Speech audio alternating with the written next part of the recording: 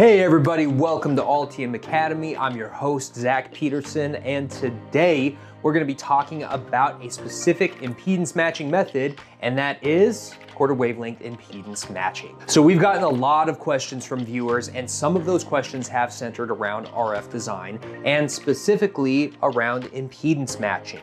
So quarter wavelength impedance matching is one simple way to match impedance at a specific frequency that gives you a really high Q value. So what I'm gonna do in this video is run over what is a quarter wavelength transmission line, how to use it for impedance matching, and exactly when you should use it for impedance matching. Let's get started.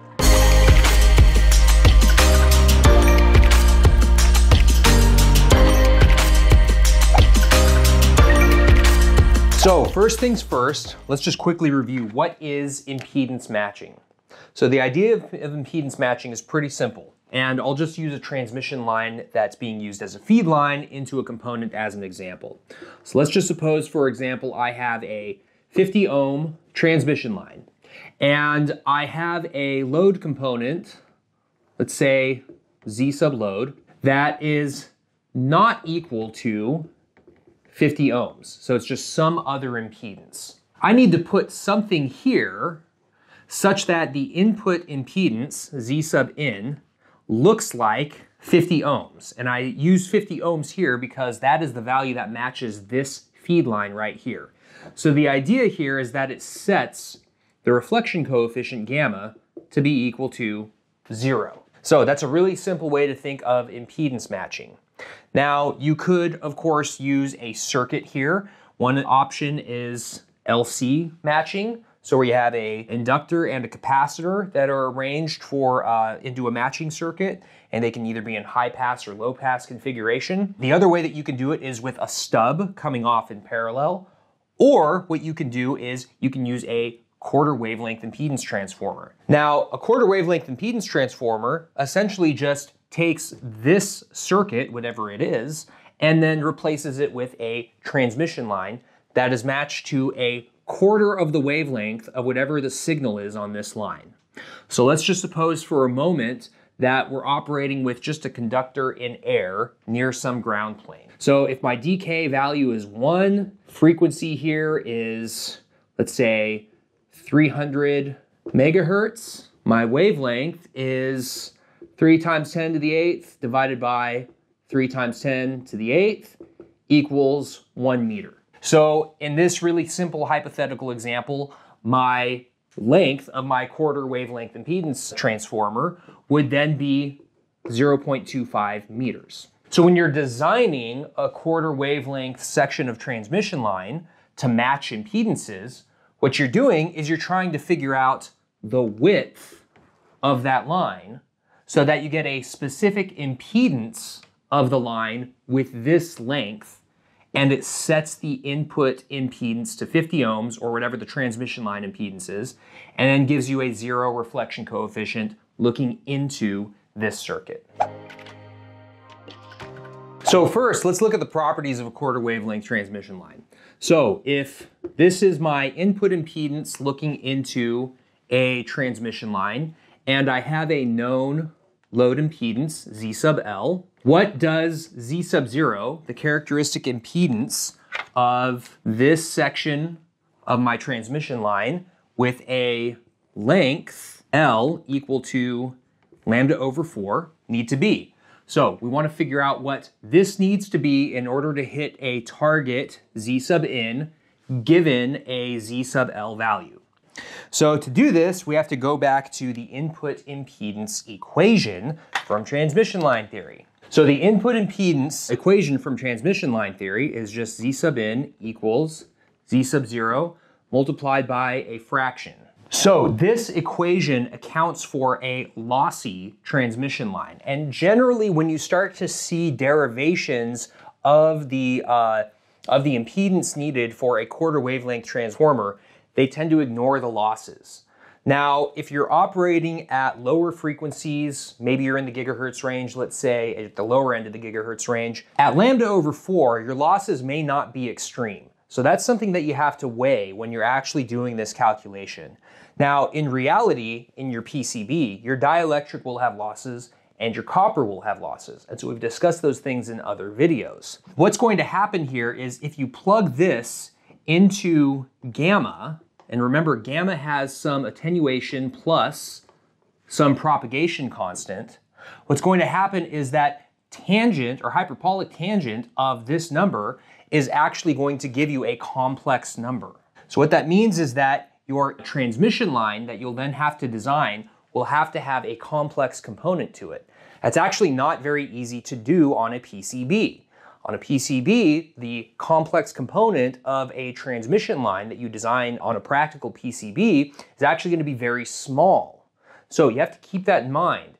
Generally, when you're designing these quarter wavelength transformers on a PCB, the reason we tend to ignore the losses, or we ignore the alpha part of the propagation constant, is because your transmission line impedance is going to be very close to being a purely real number. So there will be no complex component. So if we just follow this along and we ignore the losses for just a moment, then this equation essentially transforms into beta L with a tangent, and then same here, beta L with a tangent, and then we have an I here and an I here. So next, recognizing that beta is just equal to 2 pi divided by lambda, if we multiply these guys together, we get pi over 2.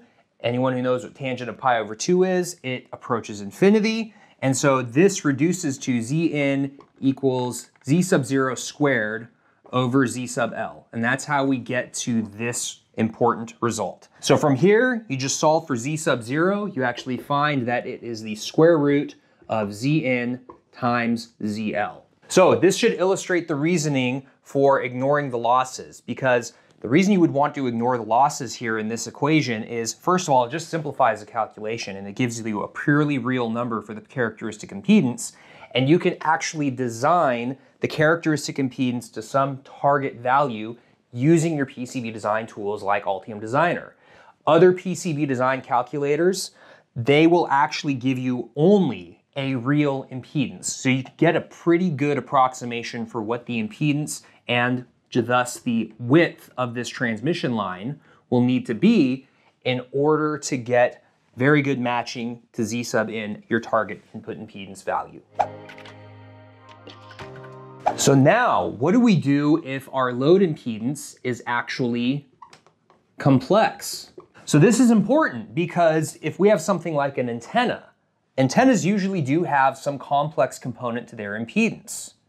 And if we want to then use a quarter wavelength transformer to then match to that complex impedance, what you will find is that this also has to be complex. And you actually won't be able to do it very easily on a PCB because, for the reasons I mentioned before, your losses and your dispersion is just not going to be big enough in order to create a impedance transformer that has a large enough complex component to then solve this equation. So remember, if this is a complex number and this is a real number, let's say we're matching to 50 ohms, once we take that square root, we're going to get another complex number. And that complex number is going to be very hard to design to by just plugging in a width for your transmission line that gives you a purely real valued impedance. So what do we do? Well, we have to put another section of transmission line that can then match this to a real input impedance on this side. And that additional section of transmission line is actually not a quarter wavelength transformer. So I'm going to show you what I mean. So in this case, what we would have is a first section of transmission line, and we need to figure out what its impedance is going to be. And then we have this length of this first section of transmission line L that could be some value. Actually, not a quarter wavelength, maybe not a half wavelength. We don't exactly know, but it's going to be something that is greater than zero. Then we'll have a second section of transmission line with its own characteristic impedance. And this second section of transmission line can then be our quarter wavelength match. And we'll have an L1 here, and we'll have an L2 here. And then the input impedance looking into this section, Z sub in, will then be given by the reflection between Z02 and then this input impedance, Zn, we'll just call it Zn1. In doing this type of design, And in setting this length to lambda over 4, what you actually need to do is design this such that this length gives you an input impedance for this first section with an imaginary part, so I use the imaginary operator here, equal to zero. So you want this input impedance to be purely real. So this is one of the reasons why on an RF PCB that uses these quarter wavelength and half wavelength and other you know, fractional wavelength transmission line matching sections, it'll actually look something like this when you kind of draw out the trace lengths. You may have a thin trace length, and then you may have a thick trace length, and then you may have another kind of odd shaped trace length, and then you get to your actual emitter or your component. So this may be like an IC right here. But sometimes you'll actually see this arrangement used in RF PCBs. This is especially the case when this is being used as like a feed line for, let's say, like a coupler or an antenna, as I mentioned earlier. And the reason for that is because these elements in that circuit board may actually have complex impedance and they're not purely real. Now, of course, in doing this problem, you could also set this to a defined value and then leave this section as your unknown. That's another way to, to solve this problem. And then set this to a target of, let's say, 50 ohms. So just for fun, gonna do is invite you to actually solve a problem here and then post your answer in the chat. And I'll do the problem too, and we'll see if we can all get the right answer. And whoever gets the right answer we'll go ahead and send you out a t-shirt. All you got to do is message me on LinkedIn, give me your shipping info, and I'll send you out an Altium t-shirt. So let's just say for this load, we have an impedance of 25 minus 7i. So this is going to be our load impedance. And then we're going to use a 50 ohm section here for our initial impedance matching section.